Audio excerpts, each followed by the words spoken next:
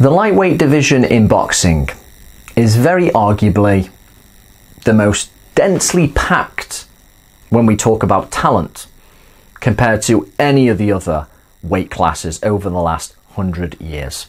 That is how potent 135 pounds is. There are so many great names that bring a smile to the face that remind you of unbelievable talents and performances. Pernell Whitaker, Barney Ross, Tony Canzoneri, Ike Williams, Joe Brown, some old school guys there. But most guys who know their stuff and historians are going to pick three guys to be at the very top, the creme de la creme of what might just be the creme de la creme division in boxing. Joe Gans, Benny Leonard, and Roberto Duran. That middle guy, Benny Leonard, was probably in his prime 100 years ago. He was 23 years of age. He's pretty much the greatest Jewish fighter of all time. He inspired directly probably the second greatest Jewish fighter ever, Barney Ross, who competed not long after him. And he inspired other Jewish people like writers like Bud Schulberg, a boxing writer. He wrote about how Leonard probably had to run the neighborhood gauntlet back in the day in Manhattan and trying to avoid and deal with all those racial slurs may have molded that amazingly fleet footed, elusive, professor esque style he had in the ring that gave him the nickname of the Ghetto Wizard. Leonard fought in an era when people fought all the time, when there were loads of boxers. Go and have a look at his BoxRec. It's not always the most instructive thing, you can only really see figures and numbers. But the guys he fought in what is arguably the most competitive lightweight era ever, and he was just so dominant. It is unbelievable. He fought the likes of Johnny Dundee, Freddie Welsh, Willie Ritchie, Richie Mitchell, Rocky Kansas, Lew Tendler. Those names might not mean a lot to you, but they were quality guys, and he absolutely dealt with all of them.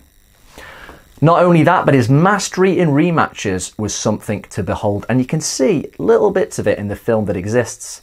But when it comes to mastery in rematches, only Joe Louis probably comes close, possibly in a hundred years of gloved boxing. The ghetto wizard, when he was on point, so hard to hit, so elusive, so tricky, and so clever as he once was against Lew Tendler when he was genuinely hurt but whispered in his ear, but a boxing legend now managed to spin around and survive a very rough period.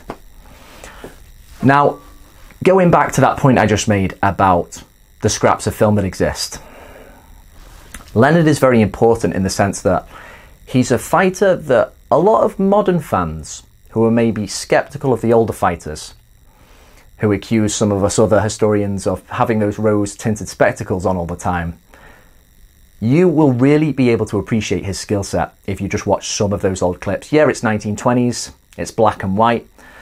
Frame rate ain't great, and there's a bit of skipping, no sound, but man, when you watch what Leonard could do in there, you will see a lot of similarities with even the likes of Lomachenko today. He was absolutely superb. All those amazing quality opponents he beat, and uh, he could really punch as well. That's the other that's one of the big misconceptions with Leonard. A lot of people look at his style, how light he was on his feet.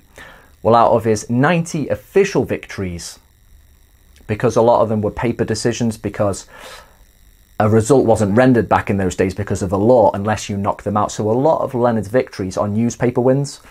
But of his 90 official victories, 70 of them are by knockout. Not only could he move, bluff his way out of a crisis, had all the shots, sense of anticipation and range unbelievable, which comes through on those old grainy black and white films still.